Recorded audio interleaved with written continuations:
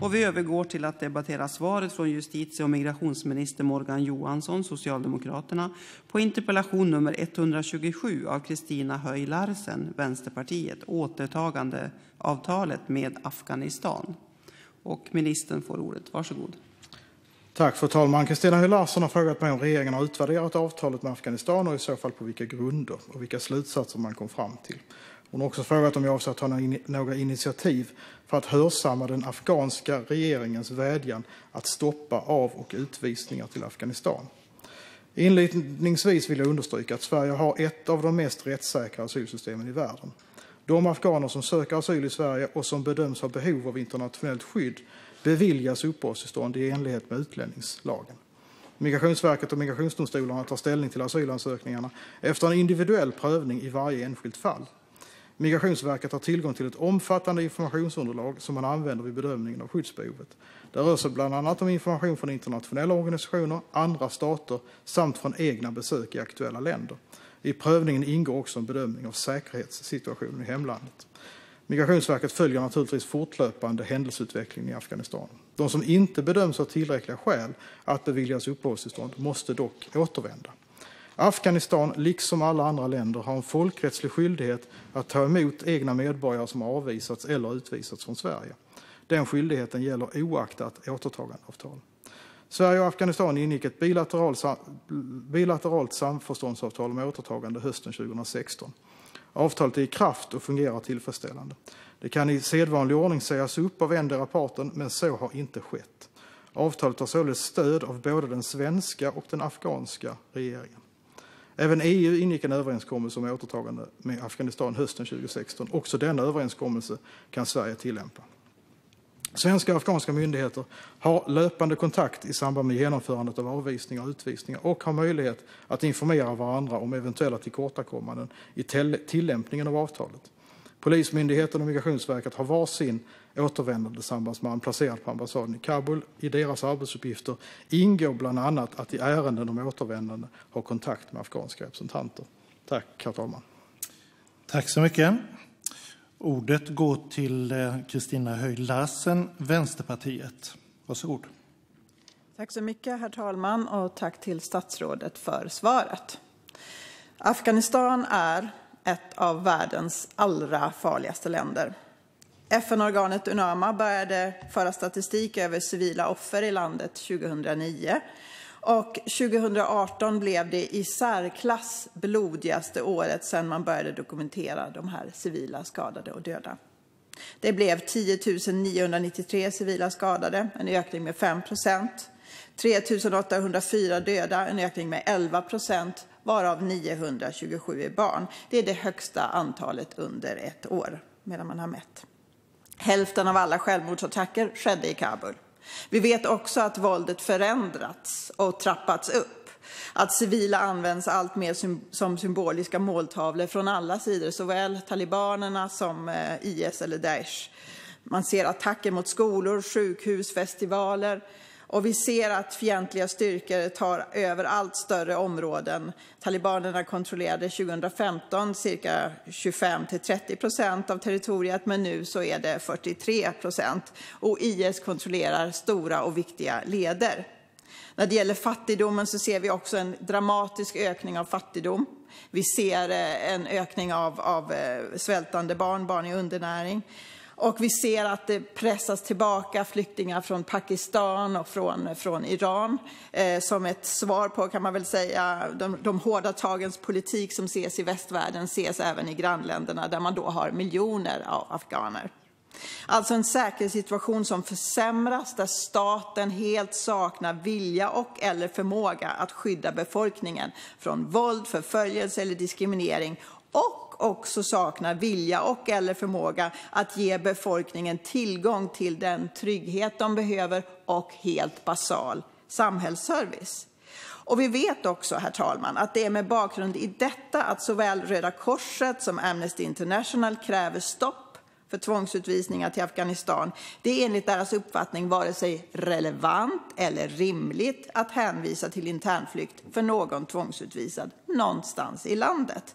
Och det är med anledning av detta svåra och försämrade säkerhetsläge samt all sämre socioekonomiska förutsättningar som även UNHCR nu gör bedömningen att Kabul inte är ett internflyktsalternativ. Och det är i ljuset av just det här, herr talman, att vi måste se återtagande, samförståndsavtalet med Afghanistan. För trots all den här internationella och väl belagda kunskapen om läget i landet så väljer regeringen att låta avtalet fortsätta.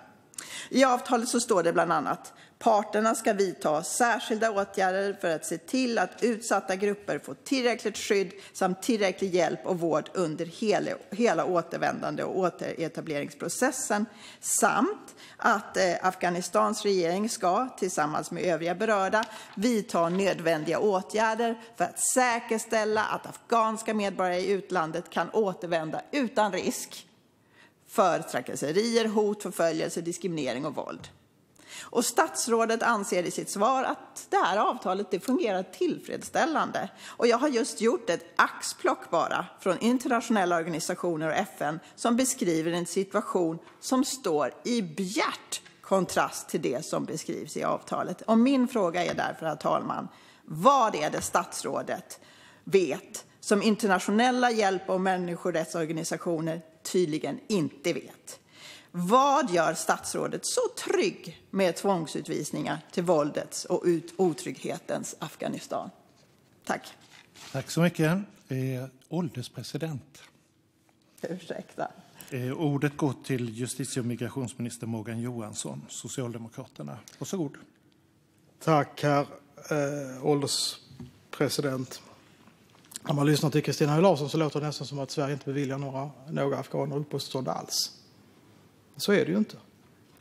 Förra året beviljades över 8 000, 8 600 afghaner uppehållstillstånd i Sverige. Därtill så beviljade vi eh, anhöriga till asylsökande och kvotflyktingar ytterligare 1600. Sammanlagt över 10 000 afghaner som fick uppehållstillstånd i Sverige. Så är det. Men då är det också så att varje fall granskas ju för sig och att det är doms och det, varje fall granskas om man har skyddsbehov eller inte. Och det är domstolarna som avgör vid varje tillfälle, vid varje enskilt fall, om man har ett skyddsbehov eller inte. Kristina Höj Larsen påstår då att, i sin fråga att, att Afghanistan har vädjat om att vi ska stoppa återresorna och riva upp det här avtalet. Nej, det har de inte.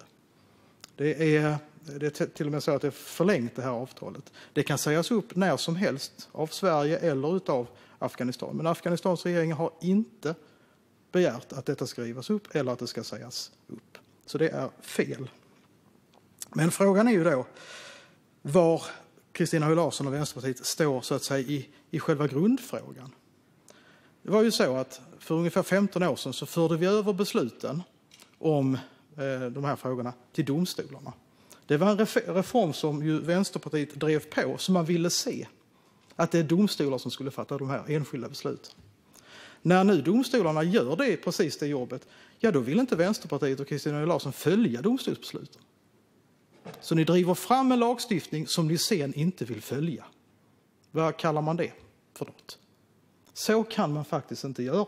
Har man väl sagt att nu är det domstolar som måste besluta detta därför att vi tycker att detta är mest rättssäkert, då kan man inte ta tillbaka den den lagstiftningen eller den beslutanderätten hit till riksdagen igen. För då kommer vi att sitta i riksdagen eller som man då gjorde i utlänningsnämnden och politiskt bestämma vilka länder det är som vi ska bevilja uppehållstillstånd till och vilka man inte ska göra det. Om man gör som Kristina Höj Larsen gör, först så driver ni fram en lagstiftning där det är domstolarna som ska ta det, sen accepterar ni inte domstolsutslagen och sen vill ni då ovanpå det riva upp återtagandeavtal för att vi överhuvudtaget ska kunna återvisa dem som får ett nej då har man ju i praktiken övergett den reglerade eh, asylinvandringen.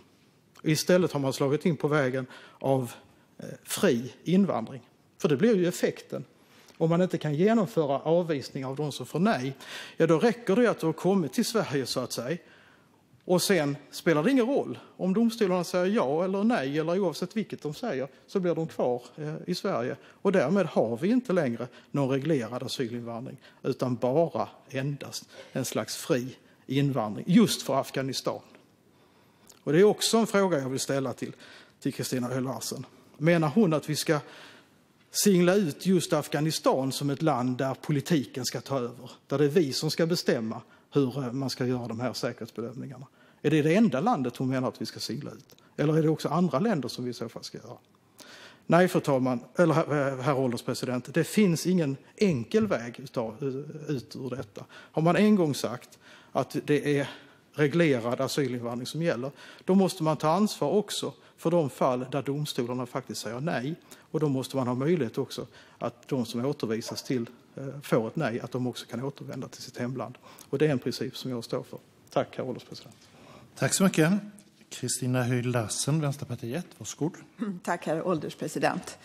Ja, det här är inte en fråga om reglerad invandring, utan riksdagens uppgift är också att granska om vi anser att eh, den lagstiftningen som finns följs. Och det helt centrala i den här debatten det är faktiskt frågan om internflykt. Jag har ingen annan åsikt än att gällande liksom, processordning ska fortsätta. Men när jag ser saker som inte fungerar, då är det också riksdagens uppgift att påpeka det och ifrågasätta det inför statsrådet. Och det är därför jag är här idag. Det är därför vi har interpellationer helt enkelt.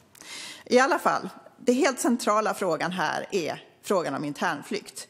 Eh, internflykt är ju ingen, ingen tvingande sak utan en sak som faktiskt länder kan välja att ha eller inte ha. Italien är ett land som inte tillämpar internflykt överhuvudtaget. Och det finns en, en motsättning här i, eh, i, i länder där man har inre konflikter men ändå väljer att tillämpa internflykt. För att risken som finns i länder med inre konflikter, den är ju väldigt hög. Det är väldigt, väldigt svårt att förutse vad som kommer hända från ena stunden till den andra.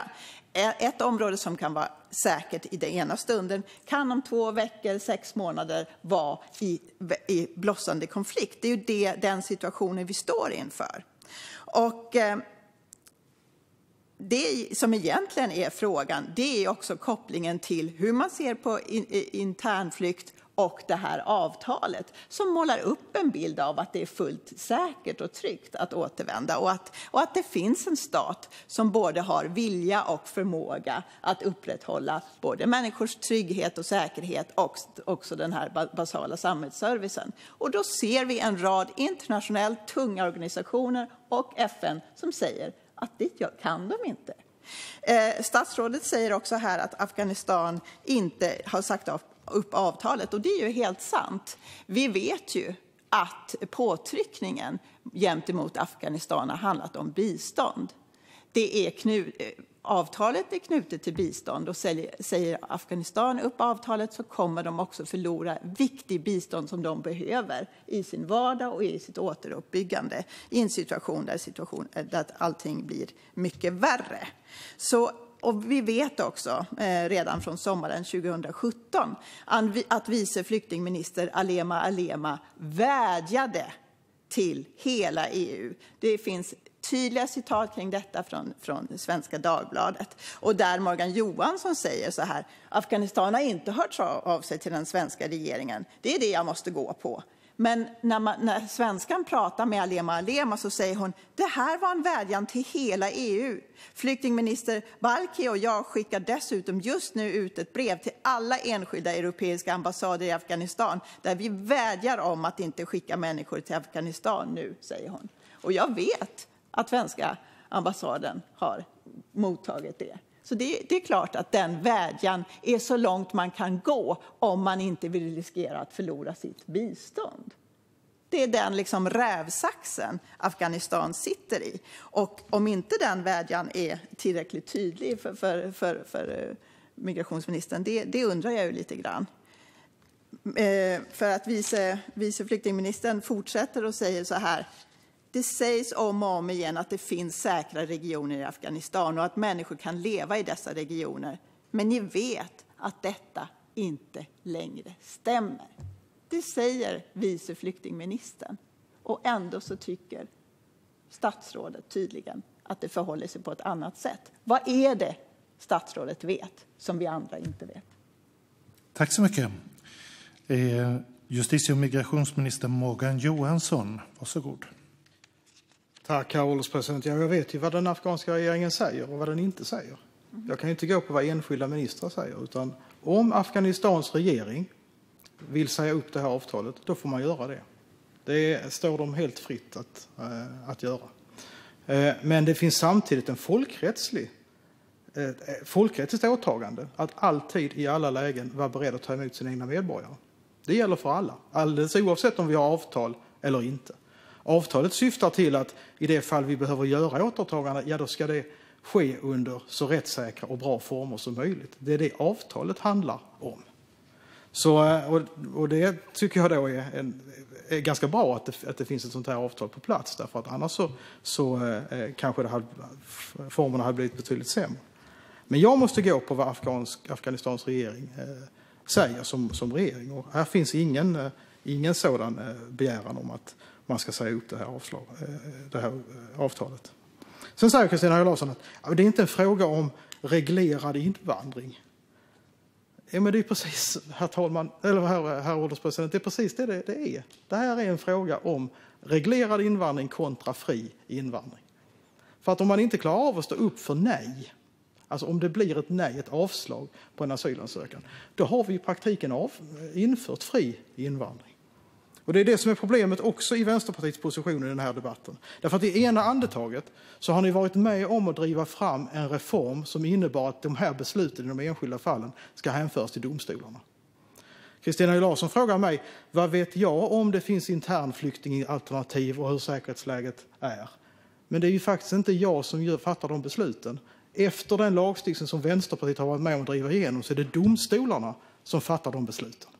Och det måste man respektera. Så i ena andetaget så säger hon, hon var med och driva fram att domstolarna ska fatta det här beslut, de här besluten. Sen i nästa andetag så säger hon, fast inte just när det gäller Afghanistan. För där ska politikerna bestämma om det finns internflyktingalternativ eller inte och lägga sig i domstolarnas handläggning. Och sen i tredje andetaget så säger hon, och skulle det ändå bli ett nej, då ska vi riva upp avtal så att vi ändå inte kan återvisa de som får ett nej. Det är herr ålderspresident, ingenting annat än att införa i praktiken fri invandring från Afghanistan. Jag är, och det är inte jag beredd att, att medverka till, men det är så systemet faktiskt ser ut. Och så återigen, det låter på Kristina Höj Larsen som om det inte är någon som får uppehållstillstånd. Som sagt, över 10 000 från Afghanistan fick uppehållstillstånd förra året. Och de fick det mot bakgrund av att just dessa domstolar hade granskat om de hade ett skyddsbehov eller inte och kom fram i det enskilda fallet till att ja, det hade de och därför så får, får de helt enkelt uppehållstillstånd i, i Sverige. Det är så systemet fungerar och det är det som jag står för. En annan väg skulle, inne, skulle innebära att politiken igen tar tillbaka de här besluten och att vi i praktiken inför fri invandring från Afghanistan. Det vill jag inte ha. Tack, herr, talman. herr ålderspresident. Tack så mycket. Eh, ordet går till Kristina Höjd Larsen, Vänsterpartiet, för ett avslutande anförande. Tack så mycket, herr ålderspresident. Nej, jag vill inte ha fri invandring från Afghanistan. Och det här rör inte bara Afghanistan, utan jag lyfter en fråga. I situationer när det finns inre konflikt, då finns det också en väldigt svår problematik kring eh, inre flyktalternativet. Och det är det jag, jag, jag lyfter och det är det jag försöker eh, med all respekt diskutera, även om Morgan Johansson vill låtsas som om jag tycker saker som jag inte tycker. Alltså, avtalet det står ju lite grann och blir ett luftslott som låter förespegla att det finns möjligheter till internflykt som de facto inte finns. Som Afghanistans regering vet inte finns, men de är bundna för att de vill ha biståndet. Och som alla internationella organisationer vet inte finns.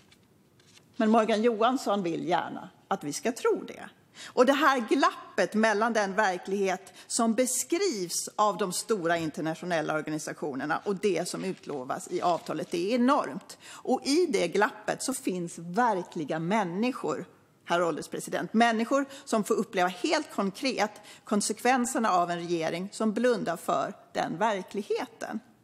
Och här uppe på läktaren så finns det en massa som vet någonting om precis det. Och vi vet att avtalet inte hålls för att särskilt sårbara personer tvångsutvisas. Svårt sjuka som tvångsutvisas men som skickas tillbaka från Afghanistan för att de inte kan erbjuda sjukvård.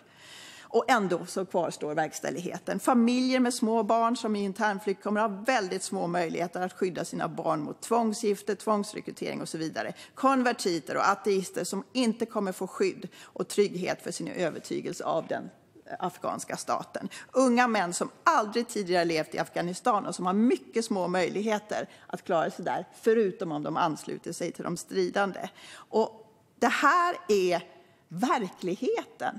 Det handlar inte om att vi vill ha fri invandring. Det handlar om att vi vill att Sverige ska leva upp till de skyldigheter som vi har på, påtagit oss. Och när vi säger att vi inte ska utvisa någon till de här sakerna i avtalet, då förväntar jag att det är det vi gör. Och det är det frågan handlar om idag. Och efter den här debatten så har jag nio namn namninsamlingar och en rapport som jag gärna lämnar över till migrationsministern. För det är väldigt många som tittar på just detta och som undrar vad regeringen ska göra. Tack. Tack så mycket. Eh, då går eh, ordet för en avslutande replik till justitie och migrationsminister Morgan Johansson. Varsågod. Herr ålderspresident. Ja, regeringen tänker naturligtvis följa den lagen som finns och som Vänsterpartiet själv har varit med om att driva igenom. Det vill säga att det är domstolar som fattar beslut i enskilda fall. Och ser man att här finns ett skyddsbehov på en person, ja då ger man dem också asyl. Som sagt över 10 000 just från Afghanistan eh, förra året. Men om, man, men om det är så att man säger att det här finns inget skyddsbehov det är de som gör den bedömningen när det gäller internflyktingalternativ eller allt annat eller alla andra förhållanden ja, då kommer man istället att gå fram med ett avslag. Och om man gör ett avslag, då måste det också vara möjligt för, möjligt för myndigheterna att faktiskt rent praktiskt se till att vederbörande kan åka tillbaka. Gör man inte det, om det inte finns några sådana här möjligheter till återanvisning, då hamnar vi precis i den situationen, det vill säga att, att det blir någon slags eh, Eh, situation med fri invandring. Har du väl kommit till Sverige så spelar det då ingen roll om du får ett ja eller nej eller vad domstolarna än säger. Om det inte finns någon praktisk möjlighet att överhuvudtaget verkställa de avvisningarna. Och jag förstår mig faktiskt inte på Vänsterpartiets situation, eller eh, position här, där man i ena andetaget säger att det här är domstolarna som ska bestämma. Sen i nästa andetag säger, fast inte just Afghanistan, för här ska Vänsterpartiet bestämma vad som ska gälla och inte gälla. Och sen i, i tredje andetaget, och även om det blir ett nej, så ska man inte kunna återvisa till, Afghanistan. Då har man, herr ålderspresident, i praktiken infört fri invandring från Afghanistan. Och det, eh, kan, och det kommer jag inte att stå för. Tack, herr ålderspresident. Tack så mycket. Och eh, därmed är debatten med anledning av interpellation 127 av Kristina Höj Larsen, Vänsterpartiet, om återtagande avtalet